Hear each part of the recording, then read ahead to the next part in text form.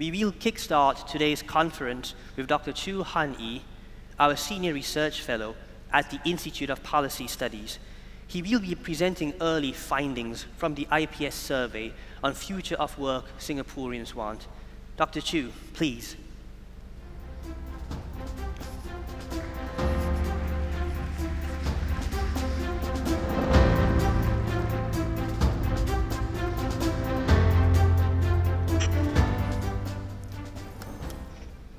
Morning. I share director's sentiments. How amazing, how wonderful, and how delightful it is to welcome everyone back to MBS again for our first full-scale Singapore Perspectives in three years. We have missed interacting with you in person. And we hope the program today will give you opportunities to interact with friends old and young, or old and new, young and old. To see your discussions on work, I'm here to share some of the findings from the IPS survey on the future of work Singaporeans want uh, that my colleague Dr. Laurel Teo and I conducted. The purpose of conducting this study is to understand how prepared Singapore workers are to survive and succeed in the labor landscape facing rapid disruptions and an aging population. The survey is aligned with the three key themes underlying this year's conference. For day one, the theme was how to adapt and succeed in the future of work. And the survey examines how prepared Singaporeans are to do so. For day two, the theme was how to succeed together. And our analysis focused on identifying vulnerable groups who may need more help. Today, the theme is how to balance and achieve different work aspirations of Singaporeans. And in the survey, we asked how much Singaporeans value different aspects of their work. So who do we speak, who do we speak to? We recruited Singapore citizens uh, and PR, age 21 and above, economically active, that is, uh, they're working or actively seeking work. The demographics profiles approximate the Singapore labor force uh, profile in 2021, um, where we under or oversampled the segments, weights were applied to correct for gender, age groups, and education groups. The final sample was 1010 or 1010. So it was a long survey, so in the interest of time, I'll just take us through some of the research highlights. And these are the five uh, highlights that we're going through today. First, the story so far. What are Singaporeans' perceptions of social mobility? Two, how mentally prepared are we for the future of work? Three, how uh, do we possess the critical core skills for modern work? What matters to Singaporeans at work? And what are we willing to give up for what we want? So first, what are Singaporeans' perceptions of mobility, social mobility? What has been our story so far? We've heard from policymakers and economists that Singapore has enjoyed tremendous income and social mobility over the last generation. Our GDP has grown, our household income has increased, and our median personal income has also increased. Uh, we, have, we already have these objective measures of social mobility and growth. So for our survey, we took a different approach and we examined social mobility subjectively. That is, do Singaporeans feel that their lives are better? For this, we deployed the tool that you see on screen. It's called the MacArthur Social, uh, MacArthur Social Status Scale. In the survey, we first asked respondents, where would you place yourself on this ladder in your childhood or youth? Where? The top of the ladder, rung 10, are the folks who are best off. These are the people who have the most money, most education, and so on. And the uh, the bottom rung, rung one, are the folks who are worse off. These are the ones who have least money, least education, and so on. And then we ask them again, where would you place yourself on this ladder now? And now was approximately um, Q4 2022. And what Laurel and I did was to put together this very colorful Sankey chart that you see on screen. We put all the childhood scores on the left of the screen and then map them to their adult scores on the right. And then we calculated the differences between the scores now and scores then. So for Six in 10 of the respondents, they reported a higher ladder score now than before. So they experience upward mobility. For one in four, the current score is the same as their childhood score, and for one in six, the current score is lower, or they experience downward mobility. Some uh, data patterns that we observe, a higher proportion of older respondents reported upward mobility than younger respondents. And we think this is because they have had more years to accumulate wealth and they were working in times of strong economic growth. What is heartening is the chart on the right, which observes that 9 in 10 respondents who put their childhood ladder scores in the lowest bracket. So when they were young, it was 1 to 4, but now their lives are a lot better. So that is the story of strong social mobility so far. But what about the future?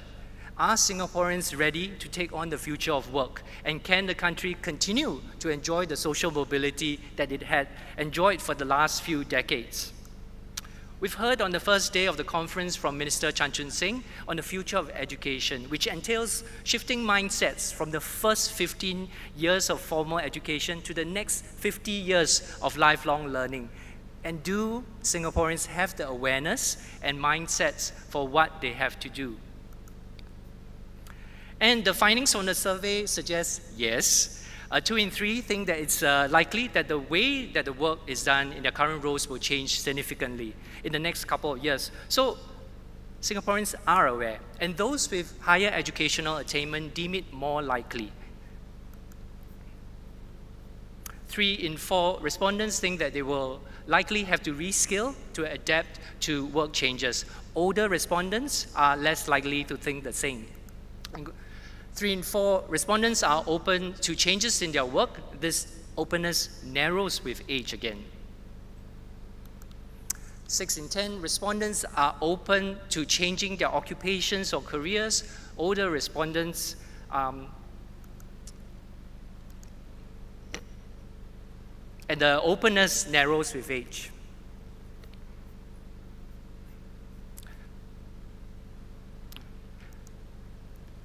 Sorry, I got the slides mixed up. So this says that one in four respondents are not open to uh, changing their occupations. So all in all, a majority of the respondents are aware and they are ready to embrace change. So we're looking about two in three, to three in four um, respondents or Singaporeans who are ready. Groups that are consistently less open or less ready to adapt are older, Singapore, uh, older respondents 55 and above, and those with lower educational attainment. So that was about mindsets and the groups who may need more help. What about skills? Do we possess the critical core skills to succeed in work? On screen, you see the critical core skills framework by Skills Future Singapore. These are skills required by workers to be successful at work. For our survey, we asked respondents about two of the three top skills, self-management and creative thinking. In terms of critical core skills, we observed a persistent gender gap uh, actually, because we have the audience, let's walk that back a bit. Before we examine that gender gap that you, that you see on screen, let's look at the overall proportion of respondents saying that they actively seek career-related training. So you see the overall figures, about 43% actively seeking on network, about 48%, that's about half which coincidentally is the proportion of Singaporeans who use their Skills Future credit, about 50% or so. Now, recall that earlier in the presentation, about two in three to three in four are aware that they have to adapt and are open to changes. But what you see here is that less than 50% are actually doing so. So there is a gap between the respondents' awareness for what they have to do and what they are actually doing. This, we think, is the higher order gap between mindsets and action that we need to overcome together. And then we look at the gender gap on screen, where women are less likely than men to pursue career management activities such as self-directed training and networking. They also rate themselves lower in their self-efficacy of creativity skills and interest in creative work. That's not to say that they are actually poorer in creativity skills. They just rate themselves lower um, than the men. Another significant finding is that um, we found that women are less likely than men to make sure that they get credit for the work um, that they do. In panel three, we heard from Mr. Indranil Roy uh, Indro from Deloitte that one of the rules of modern work is that we can work anywhere or everywhere, but we need to work loudly. Here you see that only 40% of the respondents do so, and women are even less likely to do so, uh, 37%. So maybe this is something that we can discuss in the later panels. Another finding of interest that we'll be pursuing is that all things considered, the childhood SES ladder scores that you saw are a significant factor in the mastery of the um, critical core skills. Ceteris paribus, all things considered. And this will take a bit more analysis, and Dr. Laurel Teo will be taking this research further after the conference. We also asked survey respondents which aspects of their jobs matter the most to them. These are the 15 aspects that we asked respondents to rate. Overall, pay adequacy, workplace ethics and values, and comfortable working conditions are, are the top three most important aspects of the job. Being recognized, career advancement, and task variety are least important.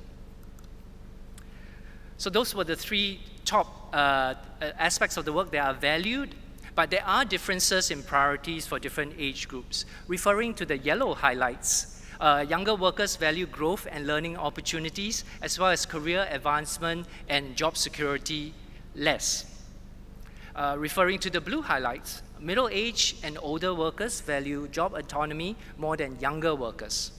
And the green highlights, understandably, career advancement is least important for older workers. So for the employers in our audience, our survey does corroborate with other studies that observe that different generational workers value different aspects of their job, and that could have uh, implications on the multi-generational teams at the workplace. And I think uh, the second panel after this will delve into this topic.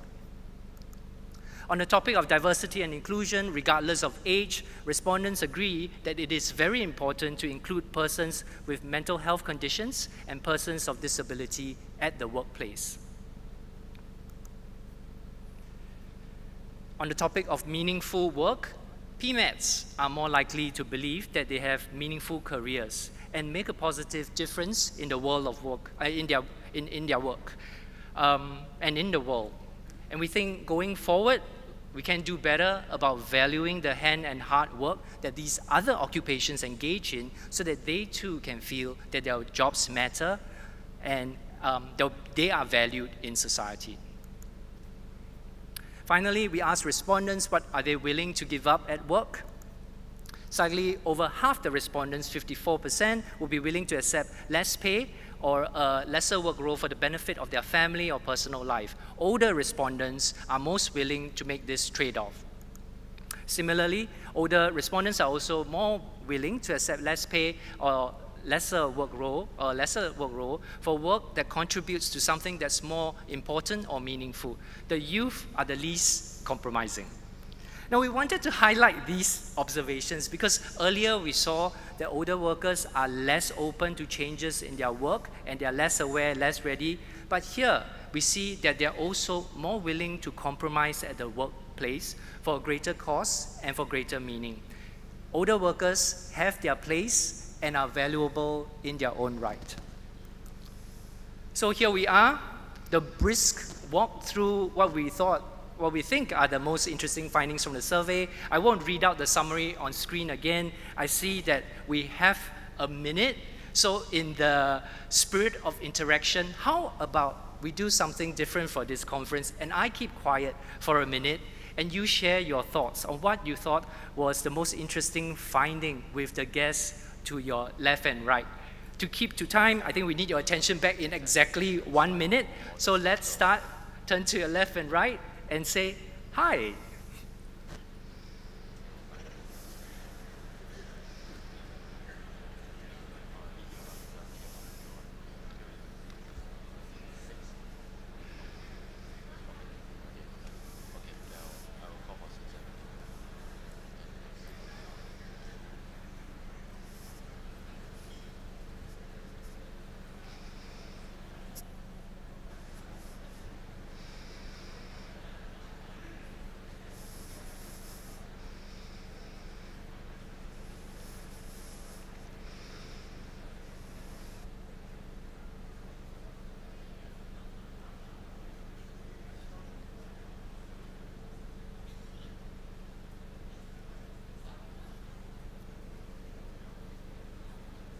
and that is time. Thank you very much. I hope you, are, you, have had an interesting discussion. Thank you for your participation in the presentation.